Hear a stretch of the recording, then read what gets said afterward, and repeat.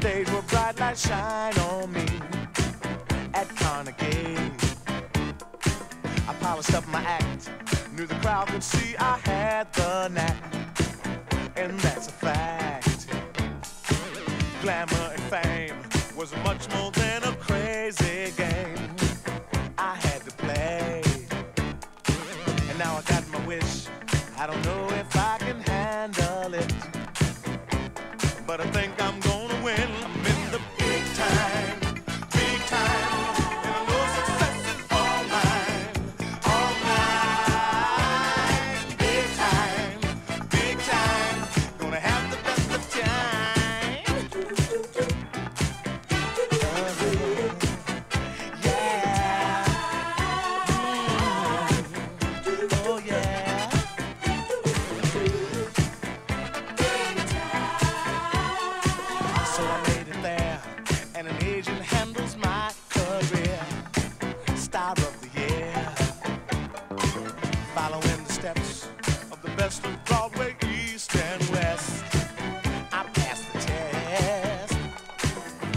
all too much with the interviews, reviews, and such. I'm very touched, and it blows my mind.